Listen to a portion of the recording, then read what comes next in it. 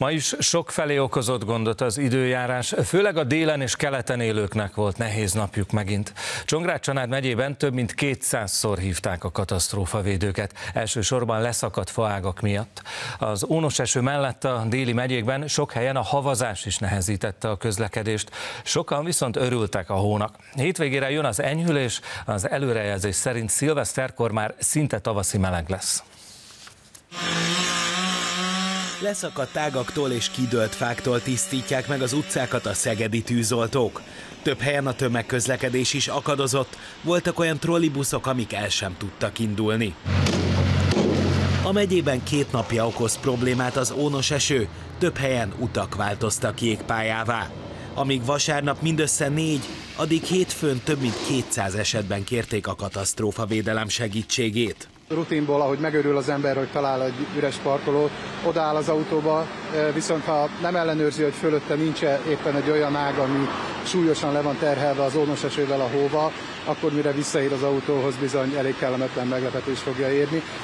Ráadásul ez még mondhatjuk, hogy a kisebbik baj, ha ne Isten személyi sérülés történik, az sajnos sokkal komolyabb lehet. Békés Csabát hajnalban érte el az ónos eső. A csúszós utakon az autók több helyen csak lépésben haladtak. A járdákon és a parkoló autókon is rövid időn belül jégpáncél alakult ki.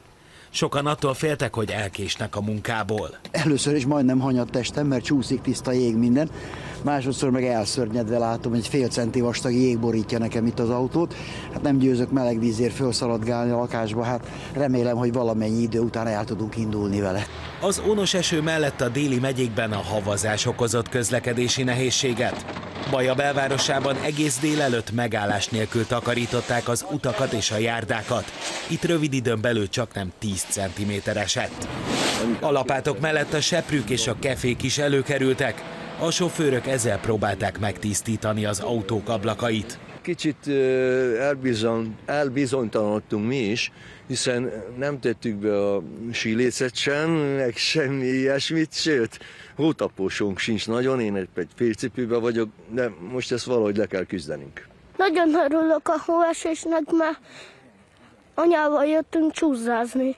A gyerekek viszont élvezték a havazást, sok család érkezett szánkozni a város meredekebb dombjaihoz. Ma reggel nagy örömünkre, akkor kinéztünk az ablakon, hogy láttuk a nagy hóesést, és hát mi hajdubiharból jöttünk egy kicsit karácsonykor unokázni, és nagy örömre szolgál, hogy az unokákat meg tudom egy kicsit szánkóztatni, meg hógolyózni egy kicsikét. Pécsen hétfőn hajnalban kezdett el intenzíven havazni. A meccsek legmagasabb részein több mint 10 cm esett. A városban ugyan nehezen járhatóak voltak az utak, a helyiek közül a legtöbben mégis örültek a hónak. Azt mondják, ha egy kicsit késett is a fehér karácsony, legalább mostanra megérkezett. Én nagyon szeretem a havat, és igazából most van itt az ideje, hogy szép fehér környezetünk legyen.